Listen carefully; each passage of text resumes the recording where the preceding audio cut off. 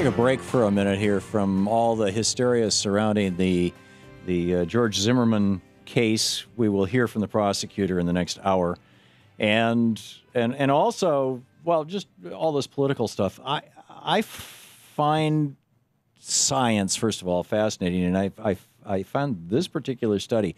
This is published in Pediatrics. And uh, we've seen this explosion of autism spectrum disorders uh, over the last couple of decades.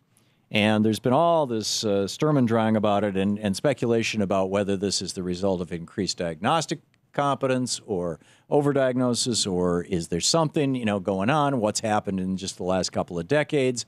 Has there been an explosion of the amount of mercury in the environment, for example, or other things? And one of the things that has generally not so much been looked at is the fact that uh, 30, 40, 50 years ago, one in three Americans was not obese, and now they are. Dr. Irva Picciotto Hertz, Hertz Picciotto, excuse me, is with us, and uh, you are you are the uh, envi- an, an, environmental epidemiologist with a specialist, especially in autism, and a professor and chief of the Division of Environmental and Occupational Health, Department of Public Health Services at the University of California at Davis, UC Davis, and and am I pronouncing your name right? Uh, I think you did get it right, uh, and I'll just add to that affiliation. It's the UC Davis Mind Institute where uh, where this work was done. Okay, and and you're one of the authors of this report. Um, mm-hmm. In my setup, did I did I get anything wrong? I mean, it was largely speculative, but well, I think you you very clearly laid out that we have seen, you know, quite a, a, a substantial increase in the rates of autism. Uh, and we've also seen this uh, explosion of, of, obesity as well. Um, so are they linked? And um, I don't think we can say they're linked uh, at this point in time, but we were seeing evidence that women who uh, were obese uh, were more likely to have a child who then later developed an autism spectrum disorder. Uh, they were also more likely to have a child who had uh, developmental delay of another sort involving cognitive impairment and, and functional uh, delays in, in their development. This is fascinating. Now, when a person is is obese, they're not just carrying around a bunch of extra weight. Their metabolism is fundamentally altered. What eh, eh, two things occur to me, and and uh, tell me if I'm just totally off base here. One is, you know, the, the more obvious metabolic changes that happen or frequent, typical and frequent, are the the metabolism of sugar, diabetes, and and and and oxygen metabolism and glucose metabolism associated with that, which are necessary for a developing brain and and for the mom's brain for that matter.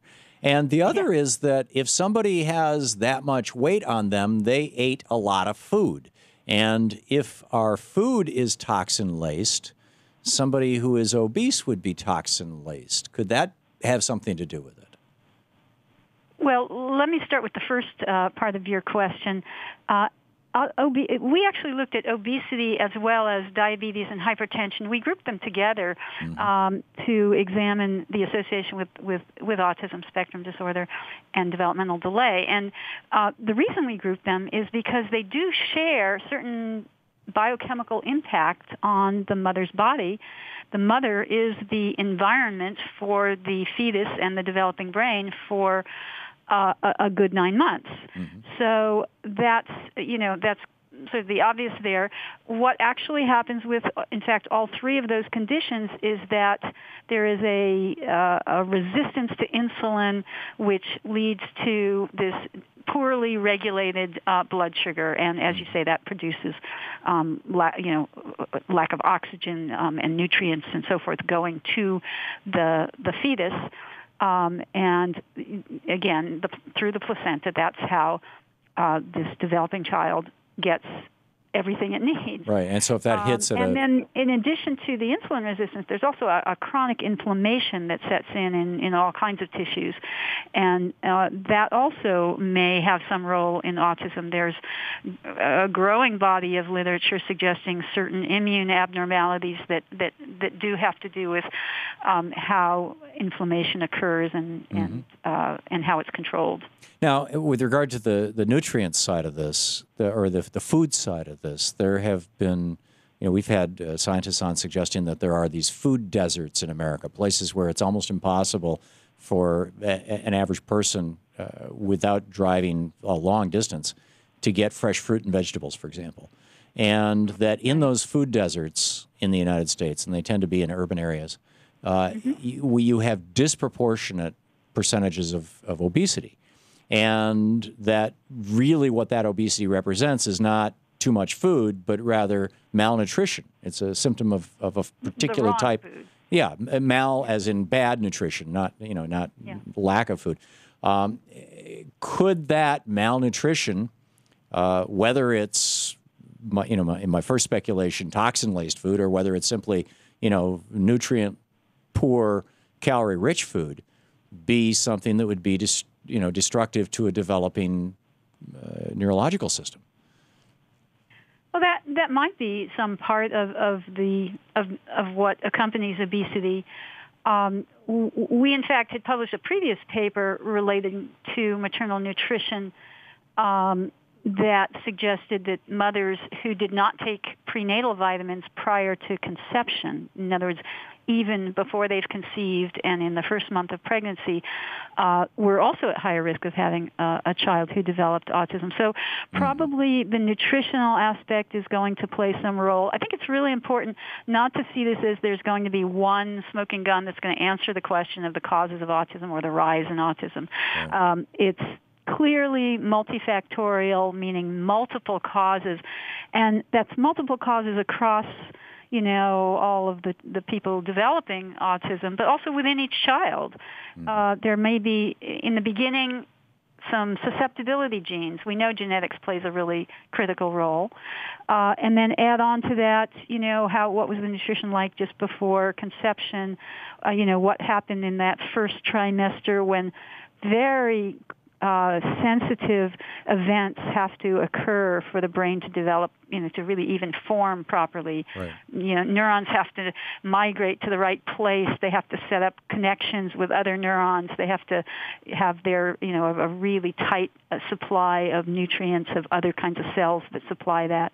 So it's it's just and it's so exquisitely timed that even you know something that's transient could have an impact um, if it happened at the wrong time. Well, and, and we've seen, I, I, think it's fairly well demonstrated now that there's some sort of an association between a lack of, for example, folic acid in early stages of, of pregnancy and neural tube disorders. Um, exactly. I, am forgetting yeah. the name of the condition. I had a niece yeah, with it, uh, yeah. where the where the spine doesn't form around the spina bifida. Spina bifida. Thank you very much. And and you know, folic acid is just in green leafies right? Mm-hmm. And if people don't get green leafies or if they don't get a vitamin that contains it, you've got a higher risk of spina bifida. So, you know, it, it just kind of makes sense that there would be a connection with all this stuff. Yeah, and and in fact, uh, it's actually hard to get the really large dose that appears to be uh, what you need for preventing those neural tube defects from just diet, which is why mm. you know we really recommend women start taking those prenatal supplements before they get pregnant. Uh, and in fact, in, in our data, um, really that was it was you know some people did have more uh, folic acid in their diet than others, mm.